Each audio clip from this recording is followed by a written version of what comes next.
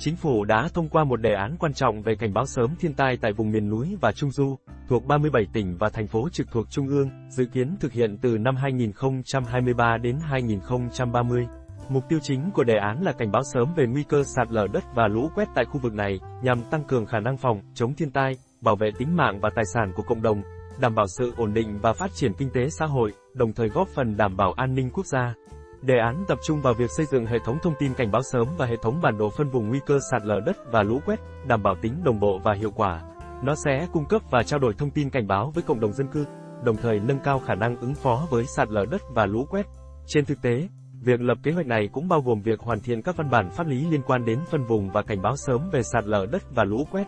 Nó sẽ bao gồm quy trình, quy định và định mức kỹ thuật liên quan đến điều tra, khảo sát, dự báo và cảnh báo. Theo đề án, vào năm 2025, bản đồ phân vùng nguy cơ sạt lở đất và lũ quét tỷ lệ 1, 50.000 sẽ được hoàn thiện cho 37 tỉnh miền núi và trung du, đồng thời tỷ lệ 1, 25.000 sẽ được áp dụng. Ngoài ra, sẽ có tỷ lệ 1, 10.000 hoặc cao hơn cho 150 khu vực có nguy cơ cao về sạt lở đất và lũ quét.